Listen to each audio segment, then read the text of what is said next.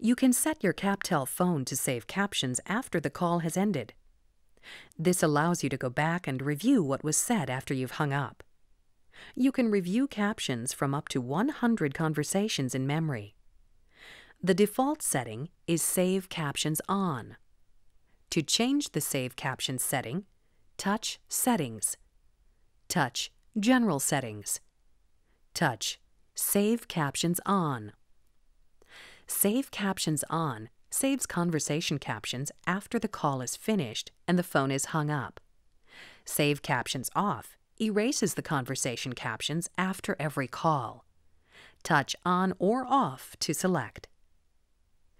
Once you have made your selection, press the Home button to exit.